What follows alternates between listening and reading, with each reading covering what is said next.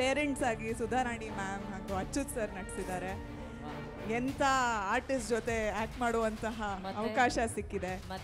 ಮತ್ತೆ ನಮ್ಮ ಯುವ ಅವರ ಡೆಬ್ಯೂ ಸಿನಿಮಾ ಅವ್ರ ಡೆಬ್ಯೂ ಸಿನಿಮಾ ಅಂತ ಎಲ್ಲೂ ಅನ್ಸಲಿಲ್ಲ. ಶೂಟಿಂಗ್ ಟೈಮಲ್ಲಿ ಮೊದಲನೇ ಸಿನಿಮಾ ಅಂತ ಅಂತ ಅನ್ಸಲಿಲ್ಲ